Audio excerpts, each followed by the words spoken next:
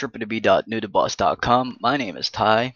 Uh, this time, what I'm going to be unboxing for you is a CDR King USB DualShock gamepad, which I got for only 280 pesos. Uh, I'm going to be using this to replace the old gamepads that I have. Uh, CDR King brand 2 I've been using for like about 4 or 5 years already. Well, not constant usage. There you go, so we're going to unbox that. I guess it's not going to be technically an unboxing because they did unbox this already. Putting in warranty stickers. You'd be... Oh, no, sorry, no disk for software or anything. You could just get that from the website. And there you go, it would look like that. Uh, we got a red one. I guess there's a green version of this.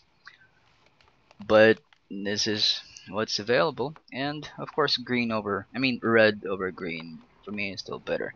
Let me do a close-up for that. This is what you're gonna get. Uh, the keys, uh, rubberized keys, little crystal plastic right there. A D-pad.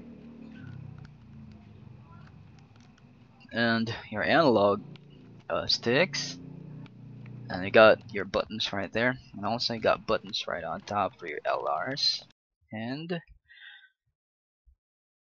here it looks like rubber gripping but I'm not pretty sure if it's really rubber because it's not that um, giving me much of that rubber feel not much traction or friction grabbing me or anything okay so in case gigil gamer and gigil sa gamepad, uh, it's, it's not gonna break. And let's have a look at the top part. There you go, that's the cable. I guess it's one or two meters. I'm not gonna extend that.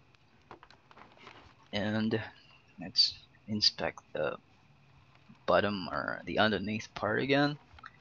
And right here, one second, I'm just trying to look up for something. Uh, I'm gonna get my uh, older gamepad, which I got for I guess this was 2008.